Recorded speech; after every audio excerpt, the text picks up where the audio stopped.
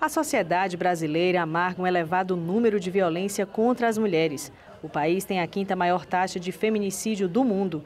Dados da Organização Mundial da Saúde contabilizam 4,8 assassinatos de mulheres para cada 100 mil habitantes. Embora a Lei Maria da Penha entrasse em vigor no nosso ordenamento, o número de feminicídio continuou alto. E aí, posteriormente, foi feita uma lei que modifica o Código Penal, incluindo essa figura do feminicídio.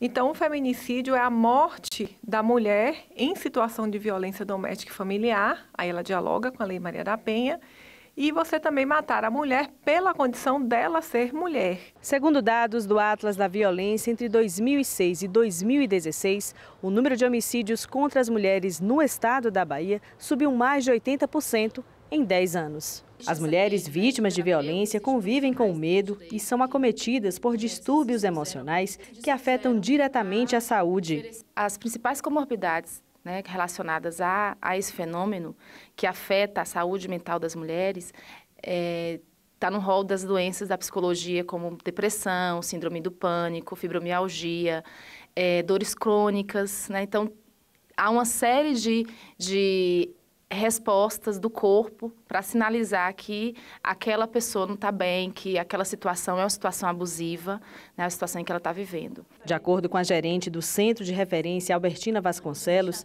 Vitória da Conquista conta com uma rede de proteção a mulheres vítimas de violência. Todas as mulheres que procuram um serviço, elas vêm, elas são encaminhadas, né? Em Vitória da Conquista existe uma rede de proteção e uma rede de enfrentamento a violência contra a mulher, elas são encaminhadas ou pela DEAN, ou pela Defensoria, ou pela Vara da Mulher, ou para os órgãos da assistência. Também tem mulheres que vêm por demanda espontânea e, ao procurar o serviço, elas são acolhidas, né, passa pelo atendimento psicossocial e o atendimento jurídico. Para a presidente do Conselho Municipal da Mulher, a sociedade precisa estar alerta aos casos de violência e denunciar. Veja bem, é, esse ditado é antigo, né, que não se mete a colher, mas todos nós temos que meter nossa colher.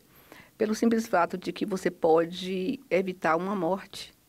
Porque se você vê alguém pedindo socorro, por que não socorrer? Se você pode pedir, liga para a polícia, chame alguém, mas socorra sempre que alguém pedir esse socorro.